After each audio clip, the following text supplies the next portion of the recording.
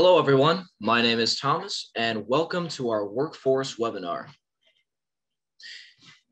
As if you are new to the program and if you're just joining us for the first time, we certainly welcome you, welcome you into the fold. Uh, and if you're a returning visitor, you'll probably notice that we're using a different interface for these webinars. We're using Zoom, which by this point you're probably well familiar with. Uh, but some one subtle difference between how we did these webinars in the past, uh, the Q&A portion, we're still going to be answering your questions, don't worry. Uh, right at the end of the presentation, we'll be answering all of your questions, but it is going to be separate from the chat box. Of course, I see you all are already using the chat box um, and continue to do so. But if you have any questions for our presenters, um, feel free to go to the Q&A box, uh, which is specifically for question and answer portion of the presentation. All right, let's get started. So before I begin, I want to give a brief introduction on Chmura Economics and Analytics, which is our company.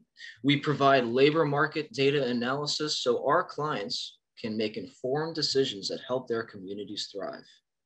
We were founded on 1998 by Dr. Chris Chmura, who is one of our speakers today.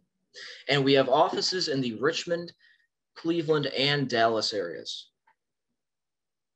Who we are are economists, data scientists, and statisticians and business professionals who care about helping your community grow and we do that primarily through our Jobs EQ software tools, which are the most effective labor market analysis tools on the market. Jobs EQ can provide in-depth labor data all the way down to the block level. And the chat box brief after my introduction, I'm going to be putting a link to our website where you can schedule a demo. Or if you just want to type it in the URL box, it's chmura.com slash demo, where you can check out Jobs EQ for yourself. Chmura is driven by client satisfaction and success.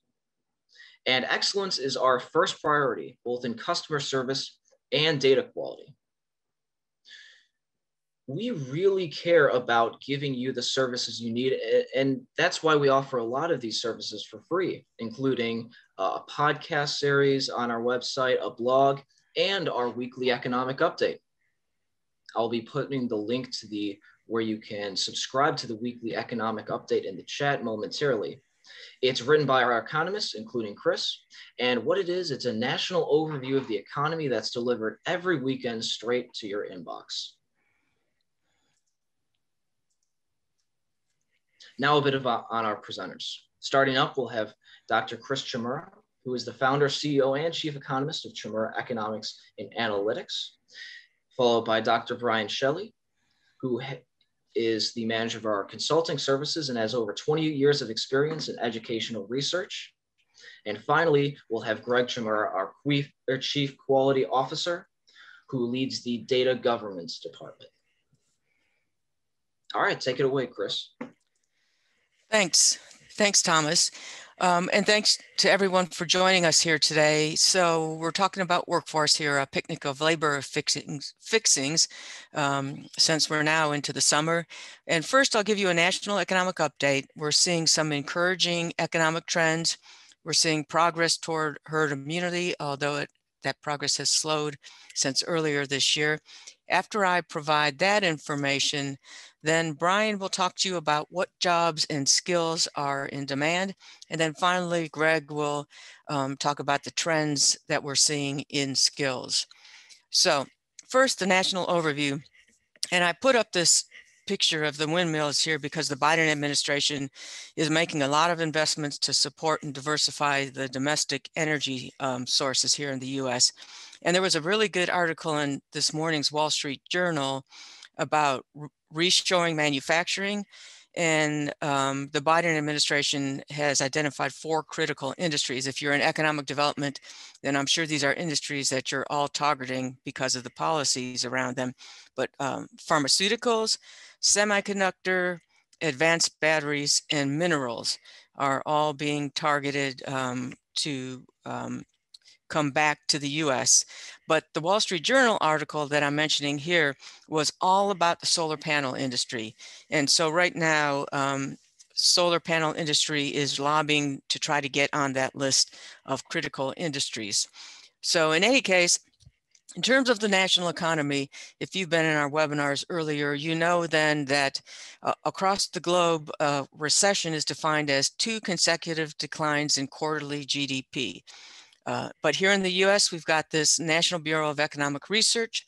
And within that um, organization, they have the Business Cycle Dating Committee that identifies when recessions begin and end. And so in gray, you can see the recession here that started and especially when we go to the next slide and you see GDP, you're probably wondering, why haven't they declared that the recession has ended yet?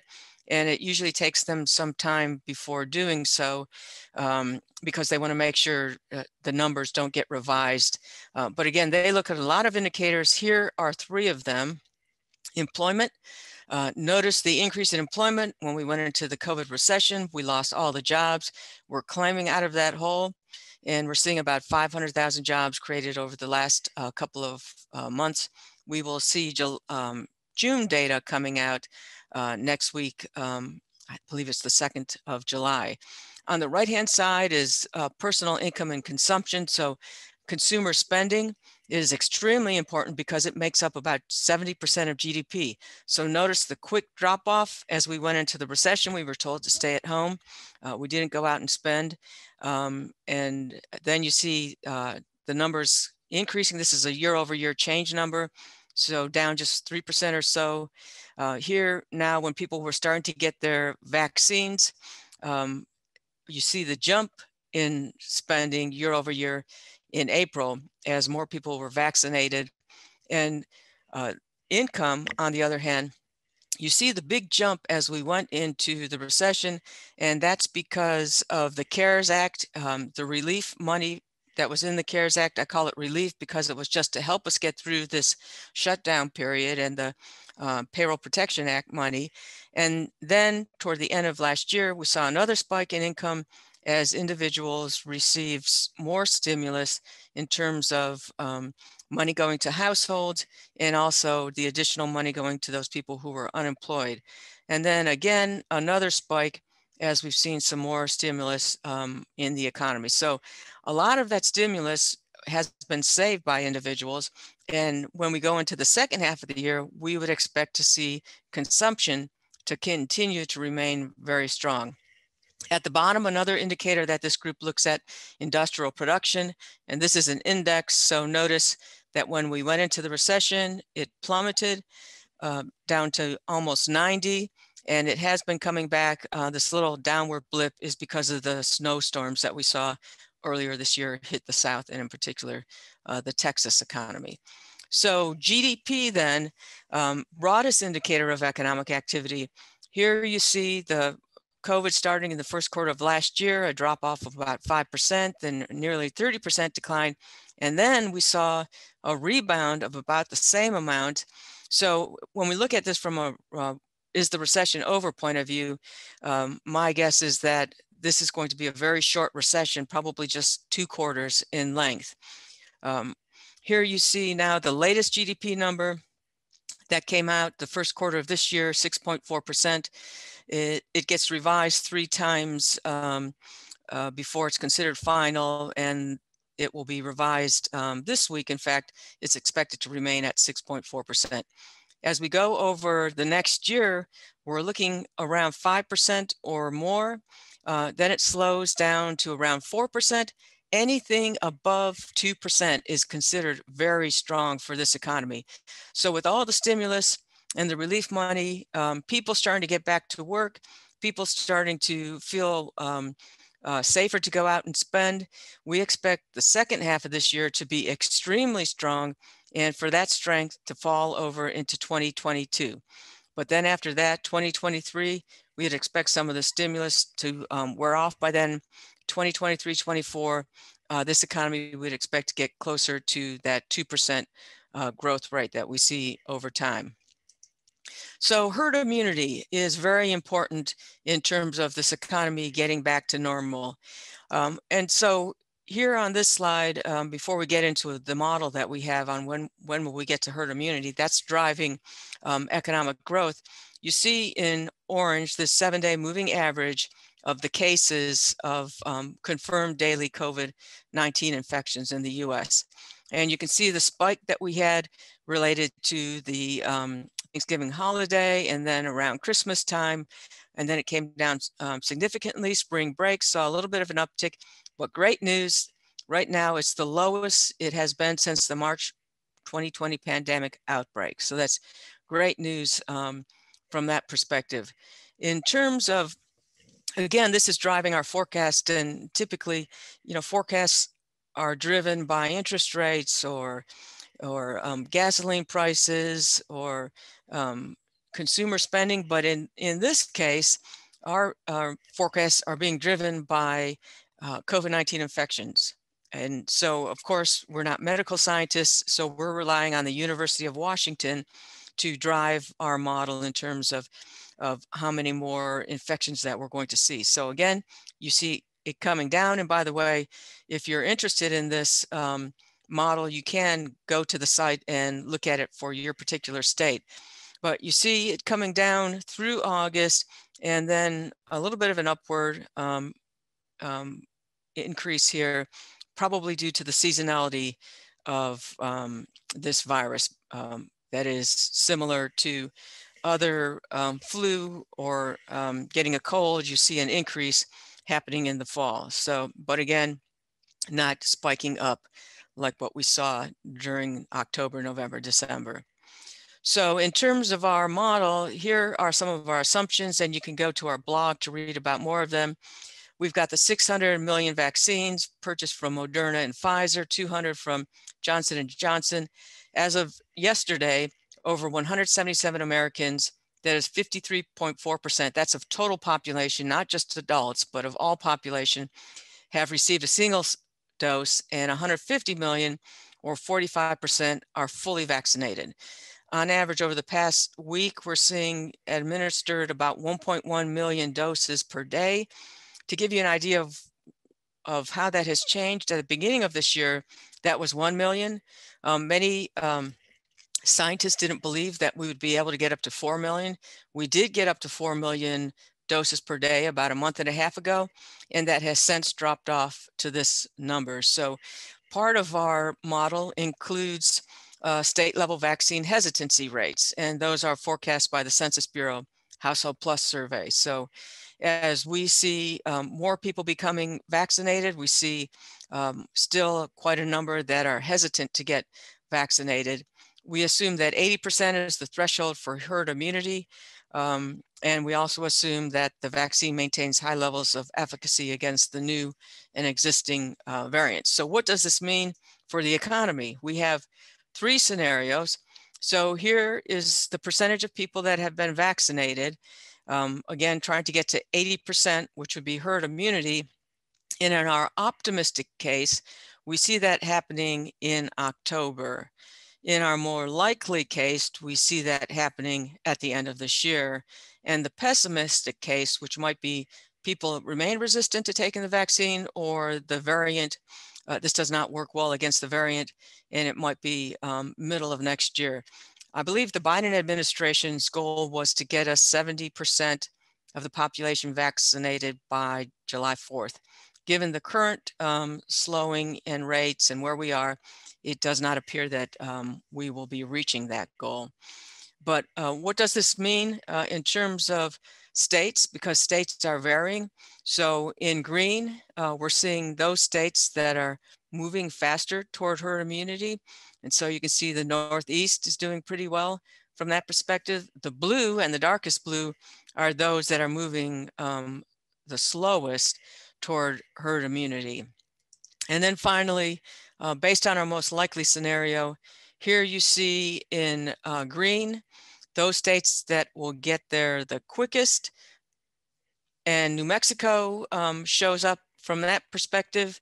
Um, and then those that will get there um, at the slowest pace, uh, we see Utah, um, Tennessee, and Georgia um, on that um, slower track. So with that, um, let me turn the slides over to uh, Bryan. Thanks, Chris. Um, and so what we're going to do during the rest of this presentation, first of all, thank you everybody for being here. Um, what we're going to do during the rest of this presentation is talk about the scope of the recovery and specifically some of the uh, conversation that you hear around worker shortages right now. This is big in the news. Um, some people want to say that the um, that the uh, stimulus payments are keeping people from working, um, but uh, the one thing that's not controversial is that there are jobs out there that are not being filled that is slowing the growth of the economy. Um, and that there are skills um, that are not being filled. And, and the skills gap thing has been going on for a while. Um, you've heard people throughout the 2010s talk about an emerging skill gap um, that led to, I think I saw one study that said, um, you know, by 2023, there may be 2.3 million jobs that are not filled um, with the skilled labor that is needed to do that job.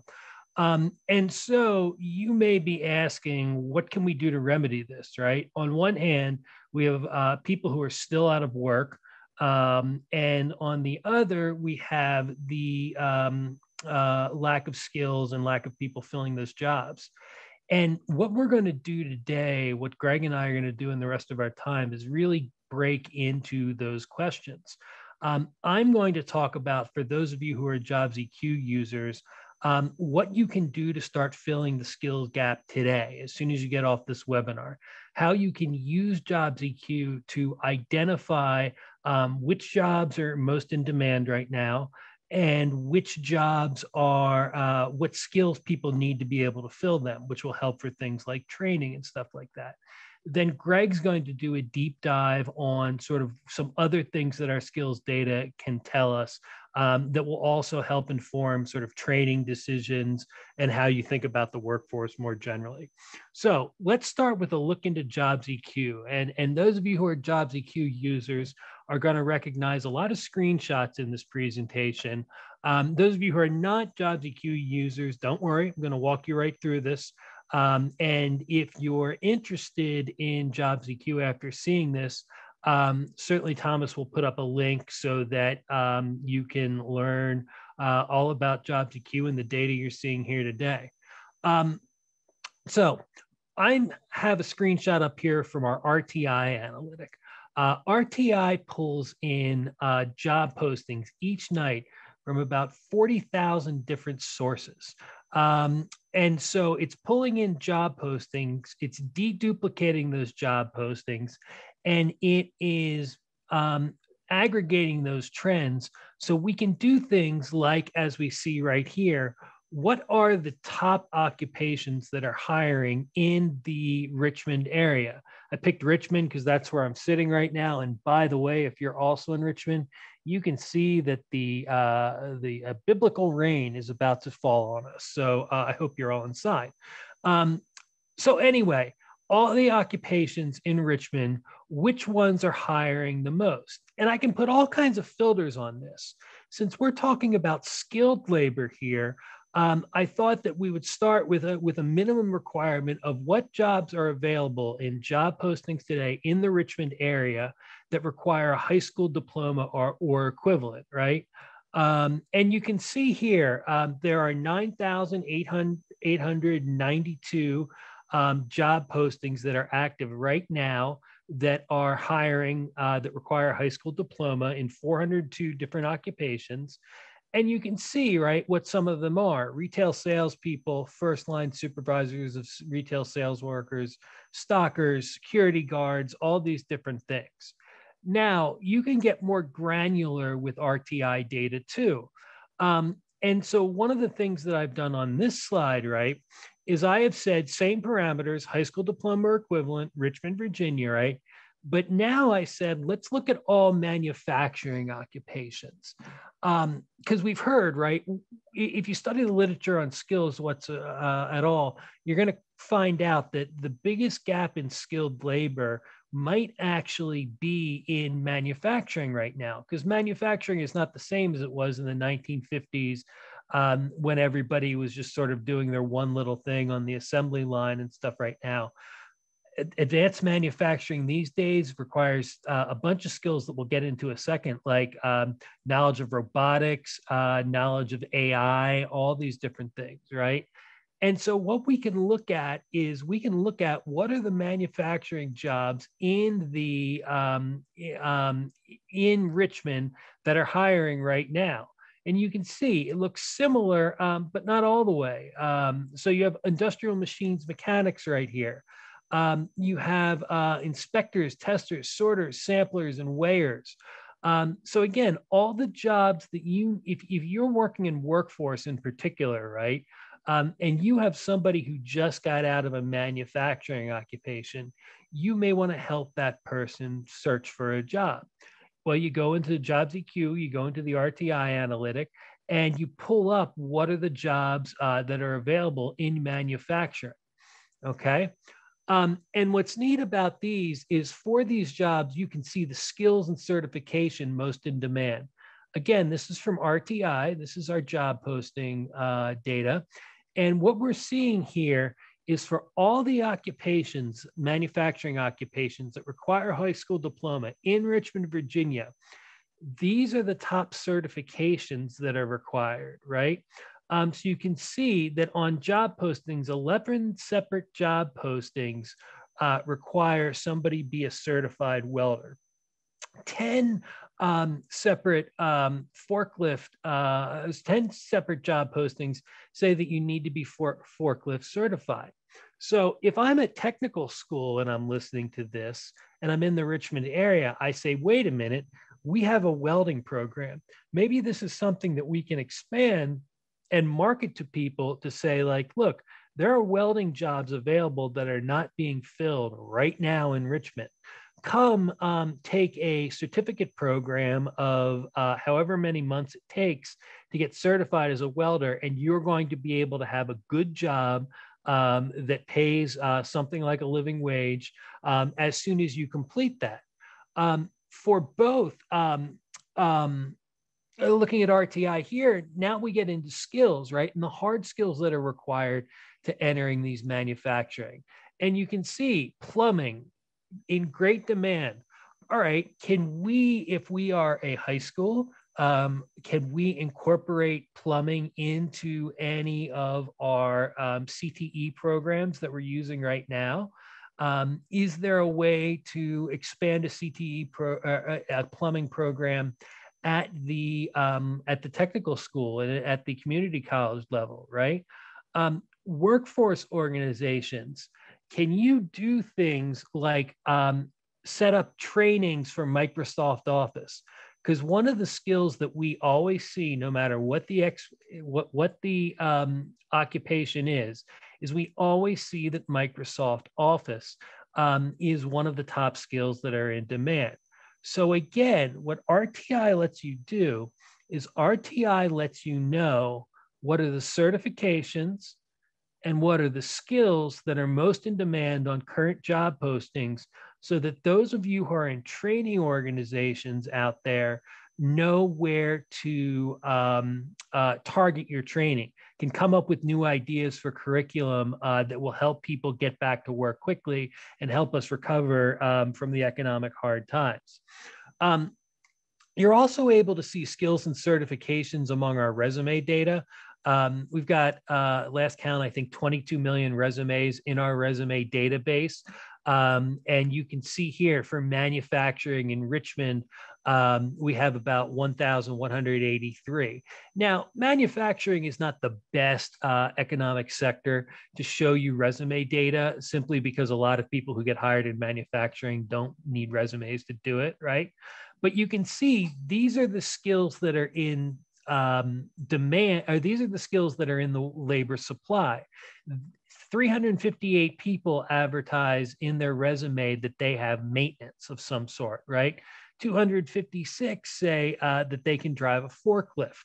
Um, and so you might be asking yourself, all right, this is useful to see the supply and uh, uh, uh of different skills in the labor force. And we just saw the demand uh, on job postings for separate skills, right? So we have supply and demand. Boy, I wish Jobs EQ had an analytic that uh, compared them. Wish no further, right? Um, you can identify skill gaps uh, in Jobs EQ by a by a analytic uh, creatively called skill gaps. Um, and you can compare uh, what skill gaps does is it compares our resume and job posting data all right and so what you see here is what are the skill gaps in manufacturing that is where do um, um, where do uh, more job postings list that a skill is needed than people who on their resumes say that they have it? So you can see here remember i told you about microsoft office? Well look at this. There are there are 55 uh, there's an opening of about 55 job postings right now that um, that um, are advertising for Microsoft Excel, and that is not present in the labor force as defined by resumes. Uh, pneumatic systems, 44 of them are present on job postings that aren't present on resumes. And so you're really seeing here um, how you can target your training um, and how um, if you are a, for example, an employer, um, you can see it's not a matter of hiring the people that are out there in an analytic like this. You can see that actually there's a shortage of workers.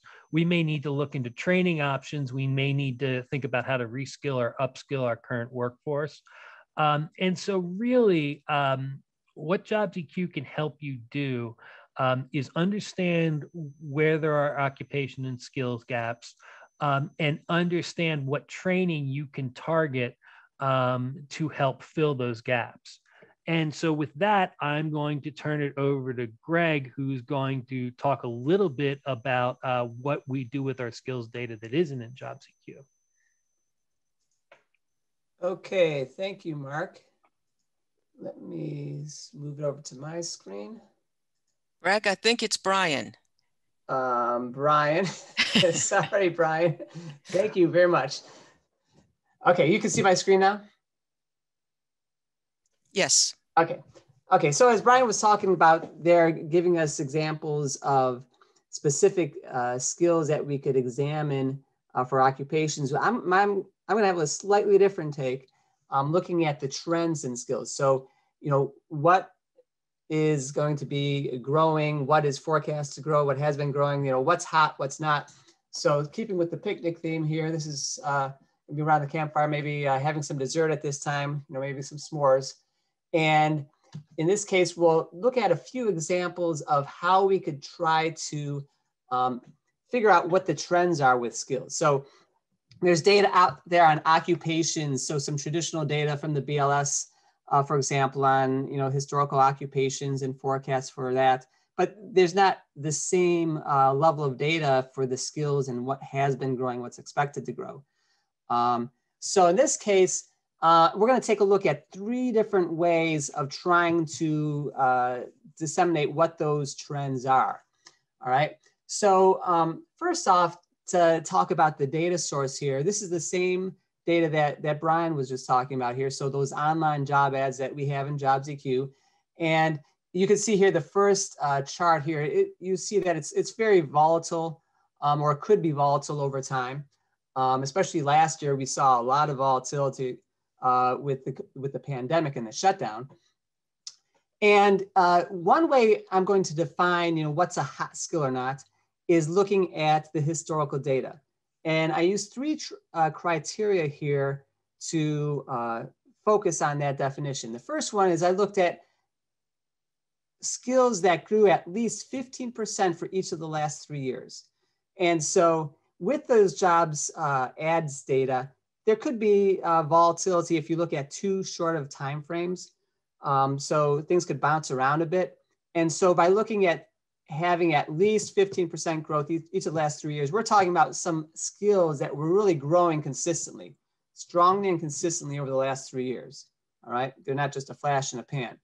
Uh, the second criteria there is that they all are associated with higher than average wage jobs. So uh, these skills are going to be really hot because if you have these skills, you're going to be eligible for jobs uh, that you know provide really good wages. So, for example, um, you know, cash handling uh, or ability to operate a, a, cash register, you know, things like that. Okay, they may be in high demand, um, especially now if people aren't willing to take uh, some of those uh, lower wage jobs. Um, but you know, they're not necessarily hot in terms of they're going to get you a, a you know really high paying job. So I'm only looking at those skills here that are associated with high wage jobs. Lastly, only skills that were had at least 20,000 unique job ads in the last year, so in 2020. Um, so these aren't like really small, rare kind of skills, but they're they're pretty um, large in-demand skills. So using those three criteria, I came up with a list of 19 skills. And not by design, but really by accident, once I came up with this list of 19 skills, well, I gave them a name. I called them all blue chip skills because they're so popular and they have such strong growth and you know having good returns. But it was really interesting that all 19 of these were associated with computer occupations. Um, and so you can see the list here. Um, so we have things like, uh, you know, Google Go, um, machine learning, Terraform, Apache, Kafka, all sorts of computer skills. And on the right-hand side, these are the, the common job titles associated with those. So all of these skills were found uh, in multiple jobs, multiple occupations. Uh, but the ones on the right, these were the ones that were either the most common or one of the very high common jobs uh, associated with these skills. So you see a lot of DevOps engineers, um, some uh, software engineering, cybersecurity. Those are the types of jobs uh, that happen to be associated with these different skills. So in these cases, again, this is looking at the historical trend over the last three years. Here's all these skills were just really growing strongly over that time period. And there's basically a lot of ads out there for them. All right, so that's one way that we could you know, use these data to kind of see what's the trend for these skills. So looking at those historical data. Um, another way we could look at this is looking at what I'm, I'm calling the turnover rates. And a few months ago, I was in a conversation uh, with some educators in Texas. And uh, we were talking about an issue they are facing. So they um, were looking at program review. So this is at the post-secondary level.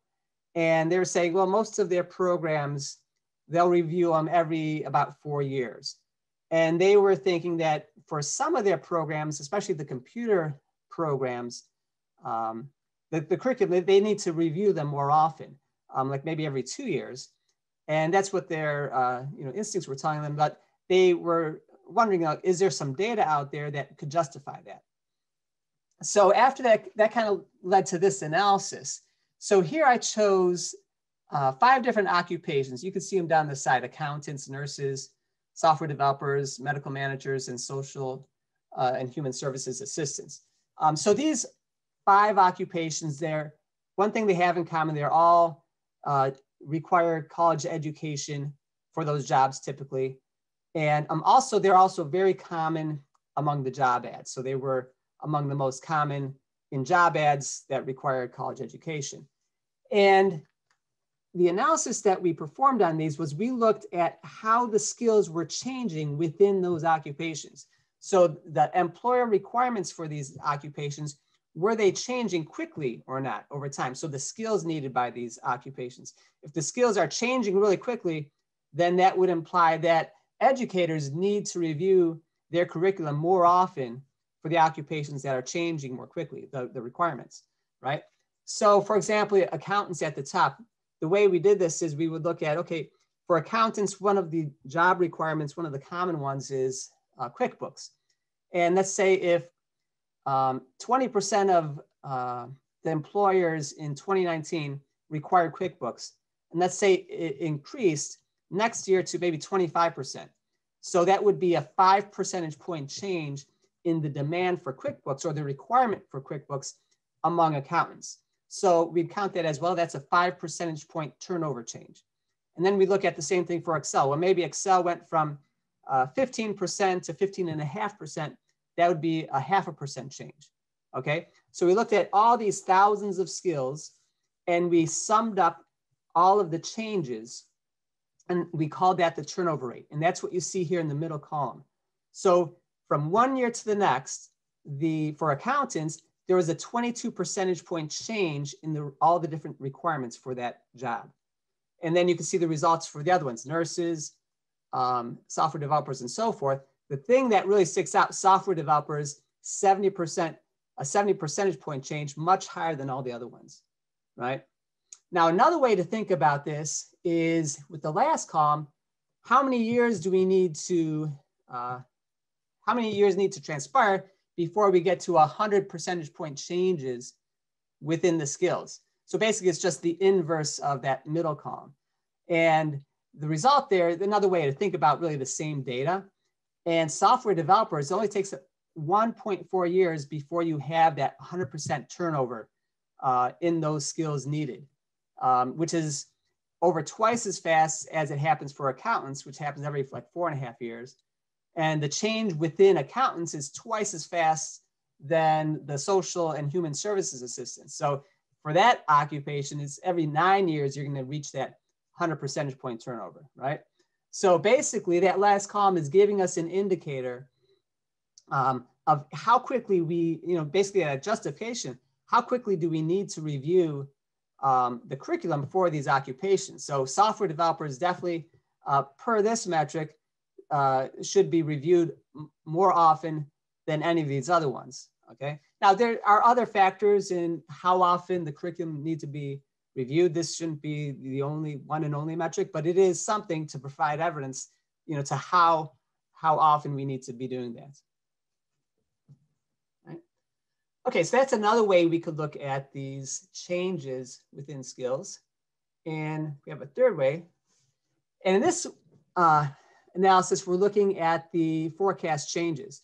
So um, the BLS, they provide occupation forecasts at the national level. And, and we carry those over into JobsEQ and we forecast those at the, the local level as well and within industries. industries. Um, in this case, we looked at um, how those occupation uh, growth rates will affect the skills needed. So uh, the assumption we ran here was for all the different skills we have, and here we looked at all the, the what we call the hard skills. So the soft skills, we also track those, but I didn't include that in, in this analysis, just, just the hard skills.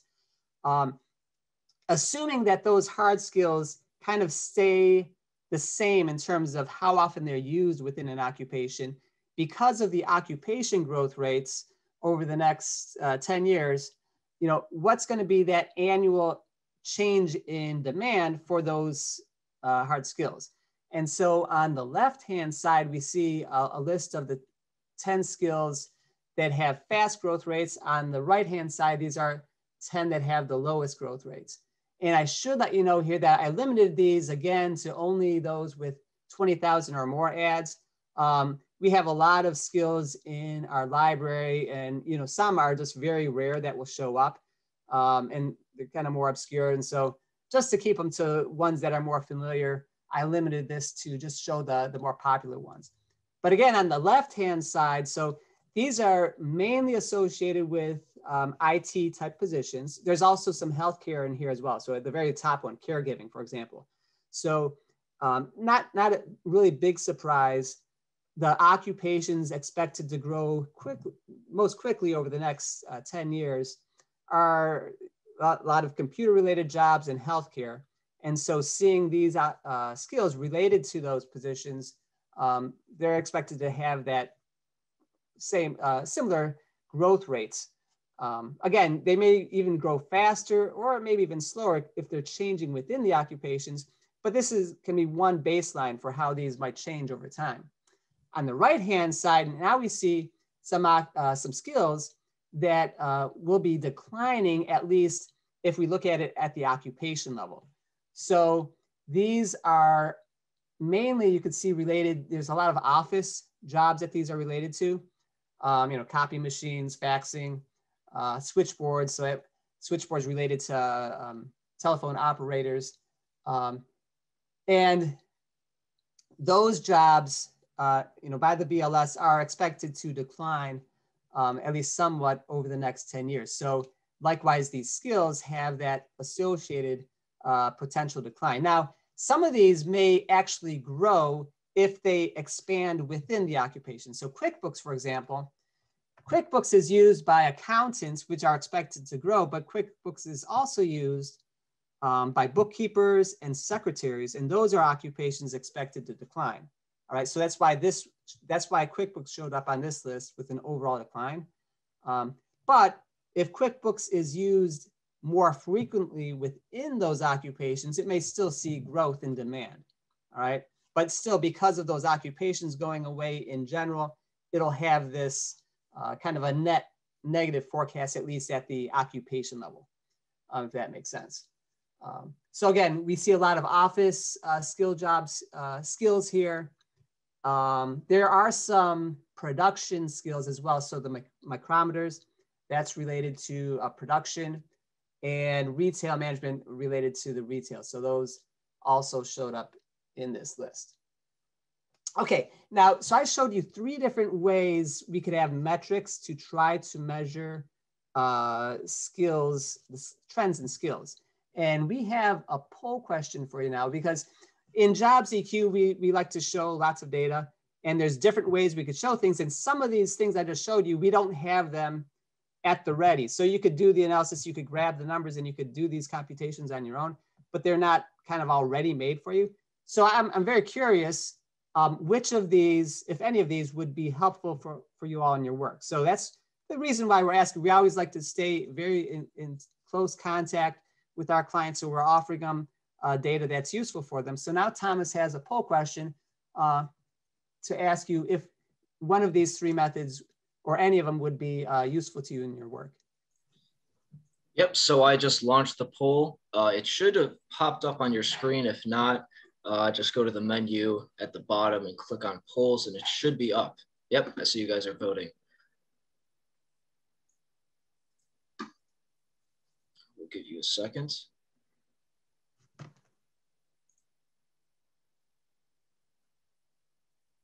While you all are voting, um, thanks, Greg and Bryan, really interesting um, information. Um, we will provide the slide deck uh, either tomorrow or later today, as well as the recording here if you want to pass it on to some of your other colleagues. And we will be answering questions shortly.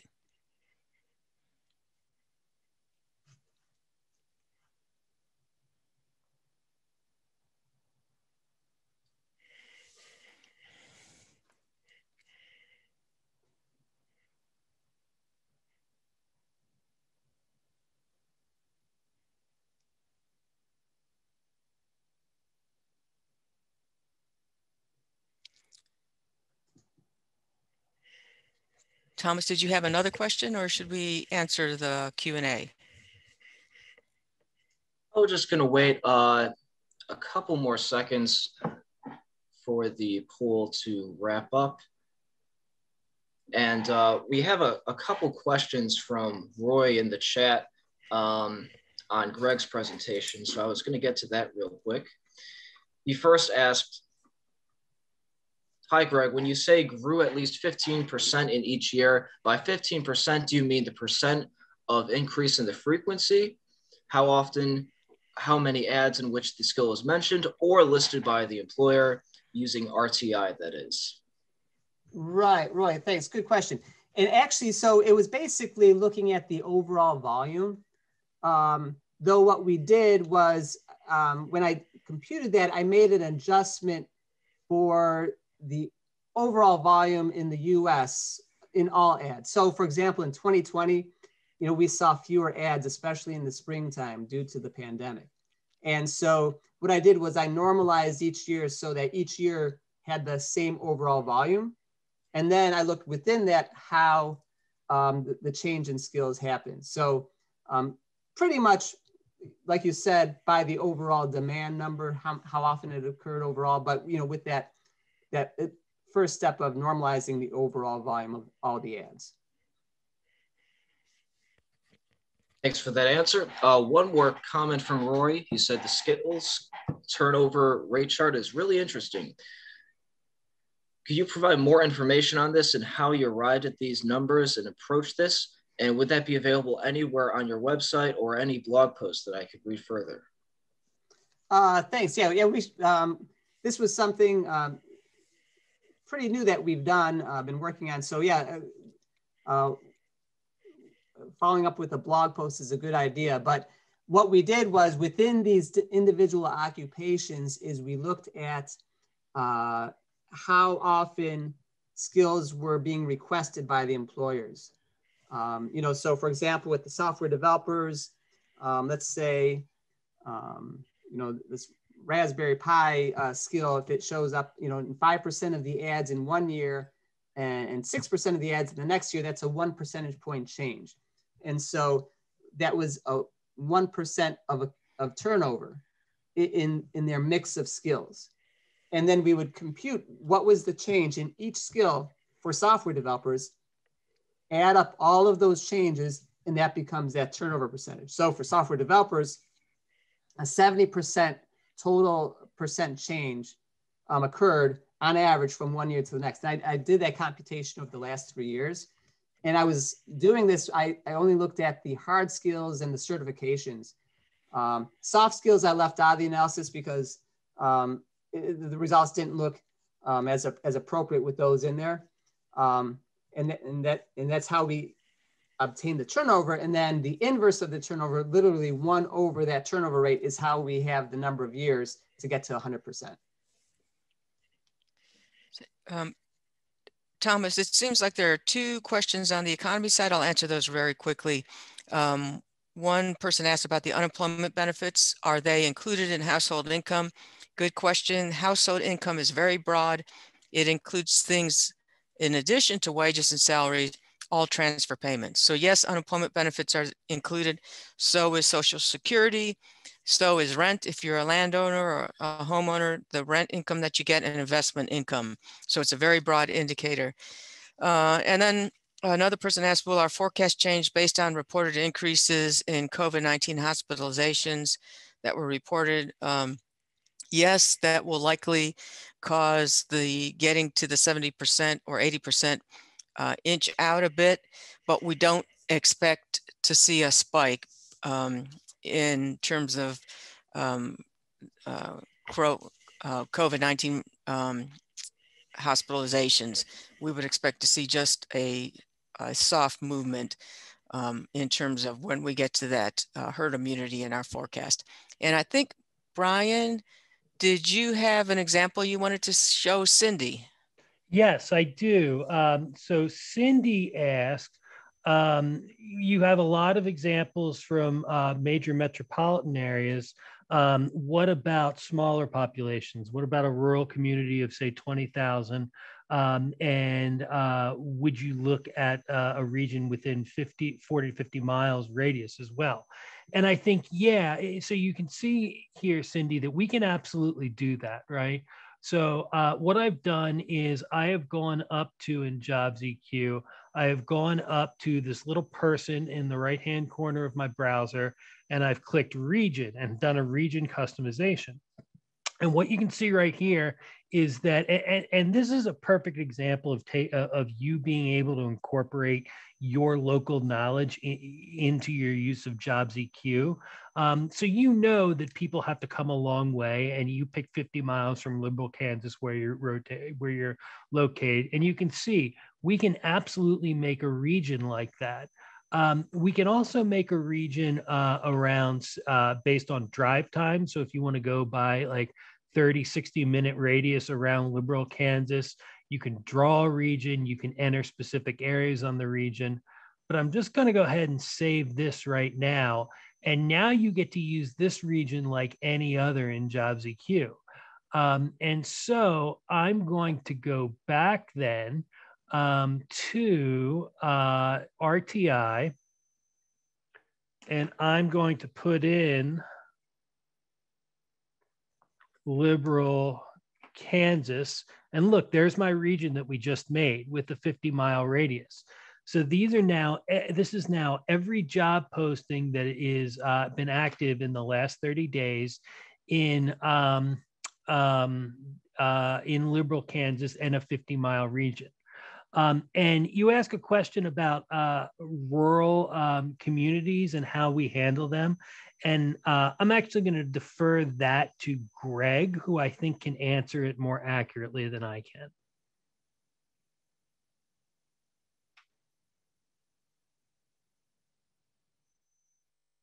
Greg, are you there?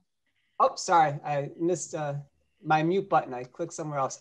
Okay. Um, yeah, so I was looking at some of the other, other questions. So the rural question was around uh, which data?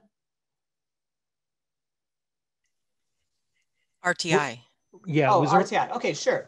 So um, yeah, we like like uh, Bryan said, we have over forty thousand uh, websites that we crawl. So it's uh, the coverage is pretty good, and it includes individual companies. And you're right, for the smaller companies, we're less likely to have those. So in, if you have some uh, in a rural area, if there's some small companies, I mean, um, you know, we can't guarantee 100% coverage of every single company, especially the very, very small companies, right?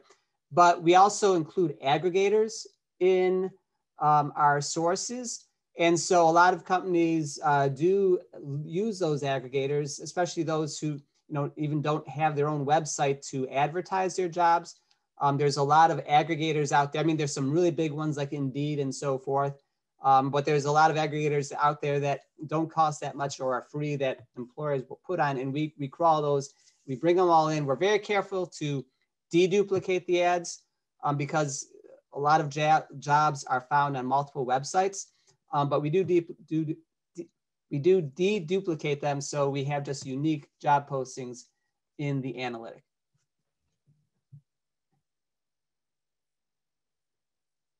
Um, so uh, Tony had a question about um, whether a bus route region can be created. Um, not yet, Tony, um, but what a great idea to incorporate public tra uh, transit into um, JobsEQ. And so that will, we're adding right that to our um, suggestion box and uh, going to put that through the process and, and see if we can get that rolling. Um, uh, someone asked, are there new job listings or unique skills that emerged during the pandemic related to manufacturing, logistics, healthcare, and public health that will remain as a result of COVID impacts? Well, I think Greg's presentation goes to that a little bit. I can speak on sort of the logistics and healthcare. So, predictably, right, um, anything associated with um, uh, delivery, um, whether it be Amazon or food delivery or, or anything like that, online shopping, basically, that grew tremendously. Uh, I, I think they said Amazon said that its growth was three times in 2020 what it had been previously. And so anything associated with online ordering and stuff like that grew in logistics. Um, in healthcare and public health, one of the interesting things that we're monitoring is the is the uh, rise in remote health, um, uh, in in sort of virtual health consultations, things like that. Um, and it will be interesting to see how that continues to um, how, how much that continues to grow um, or sustain its growth during uh, now that we're sort of getting back to normal. And I will tell you that something like last time I checked, it was like 60, 65%. 65% of the job growth in the healthcare public health sector um, in sort of telehealth, as they call it, right? So in the jo- in the jobs that pertain to what you can do online, what you can do remotely, that type of stuff. 60% of those were um, at least in uh, mental health services. So, are we going to see uh, people continue to use uh, mental health services now that the pandemic is ending? Um, we'll see. Bryan, there's a good question for you since you're on the RTI page. Um, Lori is asking whether you could look at, say, top employers like the largest hospitals and see what sort of skills that they have. All right, so let's go to, let's do a keyword filter. Um, let's see, actually, let's do an occupation filter. Um, so yes, um, so the answer to that, right, and, and I'll show you this really quickly, Lori, because uh, I know we're running out of time. absolutely one of the main things that we show in our aggregation of job posting data in RTI is the employers in a region. Now you can see sort of the top employers that are hiring right here in our Liberal Kansas 50 mile region. And you can see Centura Health is one of them, right? Um, but let's say I just want to see who is hiring registered nurses. All right. And then look at this. Um, you get down to uh, Centura Health, Mays Home Health, uh, the Satanta District Hospital. Um, so yes, and, and, there are a variety of ways that you can search by um, what hospitals are hiring, what who's hiring in healthcare. Um, but certainly, we can absolutely search that and and figure out who's hiring by the employer. I see also a couple other questions that I could answer. So there was one from Jim Skinner about what time frame the postings were reviewed for the annual skills turnover. So for that one, we looked at from 2018 through 2020. And again, I, I didn't mention it when I was talking about this. So we used a couple years there. Um, so we weren't just limiting ourselves to one year. The other thing that we were doing was we use postings across the whole nation. So that was a national level metric that I was referring to in, in that slide. This also can be done though at a smaller level. So if you want to just look at a state, how are, how are things changing within our specific state, you could certainly do the analysis at that level as well. Um, I also see another question. Uh, someone asked about how our tool combats for entry level or lower skill workers who often do not have resumes at all. Okay, so um, when we do the analysis, one thing we do is we do it at the occupation level. So we look at what their most, for when we're working with the, the resumes, their profiles, we look at what their most recent job was. So if they were a software developer or if they were a retail worker, we use that, um, that fact when we look at, when we do the analysis for all retail workers or all software developers, all right? Um, now, if someone doesn't have a resume, well, they're going to be missing. And certainly nothing we can do about that in terms of uh, you know, that not being there. But one thing we also do in the analysis is we're working with job postings on the demand side and the resumes on the supply side is when we compare them, we do a bit of uh, normalization because the other thing when you try to do a, a, a skill gap like that, that's, that's kind of tricky is if you think about it, um, certain skills are maybe more or less likely to appear in a job ad than they are in a resume. So um, when we were first looking at these data, we noticed, yeah, in a lot of cases, there were certain things like, especially like those Microsoft Office kind of skills that, you know, they might show up, you know, way more often in resumes because just people are just, you know, putting them there uh, than they would in a job ad or maybe even the reverse. So we do a little bit of uh, normalization there at the national level to account for, for that fact. And also what you're mentioning is that we're missing some of the pieces of, of the market. So we look at, okay, at the national level, if the um, demand and supply are basically at equilibrium, what's the regional variation? So then when we look at the skills gaps, um, we look at that gap basically relative to the nation. So if you have a gap there, um, you are in short supply relative to where the, the whole nation is. Greg, can um, you, oh, I'm sorry, go ahead, um, Bryan. Uh, real quick, uh, Nancy Aird asked, um, uh, can you look at job programs by uh, specific SOC codes? And as you can see uh, right now on my screen, Nancy, um, yes, absolutely. We can type in sort of any SOC code we want uh, we can put in Boilermakers, um, and there they are. And Greg Daniel has a question about shape files. Could you answer that? It's under the chat. Okay. Um, to be uploaded, yes. So uh, with the shape files, you can, so if you're, when you're creating regions in JobsEQ, so um, like when you're creating a drive time, for example, um, similar to that, you could uh, upload a shapefile so then you could do the analysis at that level of detail. So you could save that shapefile as a region in JobsEQ and run the analysis on that region. I think we've run up against our timeline here. Are there any other questions that are out there?